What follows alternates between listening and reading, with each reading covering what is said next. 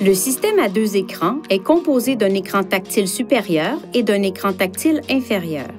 Pour les véhicules qui ne sont pas dotés d'un système de navigation, veuillez consulter le manuel du conducteur pour le système InTouch d'Infinity pour de plus amples renseignements sur le système à deux écrans et les commandes.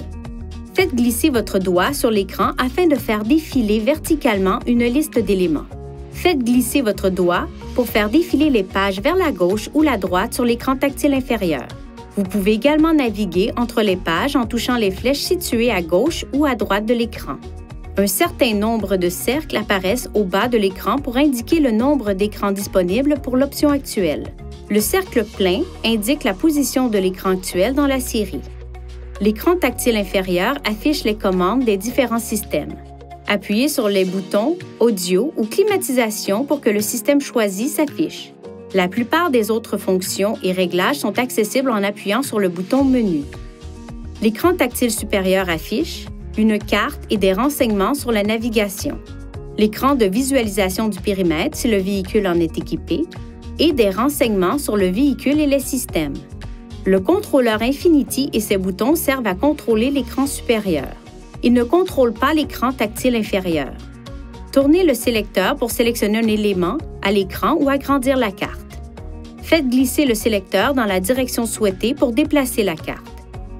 Appuyez sur le bouton OK au centre du sélecteur pour sélectionner un élément en surbrillance à l'écran ou pour afficher le menu des raccourcis lorsqu'une carte est affichée appuyez sur le bouton Map Voice pour afficher une carte de l'emplacement actuel du véhicule ou maintenez-le enfoncé pour réécouter les indications vocales si disponible. Appuyez sur le bouton Retour pour revenir à l'écran précédent. Appuyez sur ce bouton pour accéder à l'écran de visualisation du périmètre si le véhicule en est équipé. Maintenez-le enfoncé pour régler la luminosité. Pour ajuster les réglages de l'affichage, appuyez sur le bouton Menu, touchez Réglages Écran, puis Réglage de l'affichage. Utilisez les icônes pour sélectionner l'affichage inférieur ou supérieur, puis régler la luminosité, le contraste et le niveau de noir au niveau souhaité. Touchez cette icône sur l'écran tactile inférieur pour afficher l'écran des réglages rapides, où vous pourrez rapidement ajuster la luminosité de l'écran ainsi que le volume du système audio. Votre véhicule est doté d'un chiffon spécial permettant de nettoyer la surface anti-reflet de l'écran tactile inférieur. Utilisez toujours ce chiffon spécial pour nettoyer l'écran tactile inférieur. Brossez légèrement toute particule de sable ou de poussière sur l'écran au préalable pour éviter de l'endommager pendant le nettoyage. Si l'écran est très sale, humidifiez le chiffon spécial avant de nettoyer l'écran.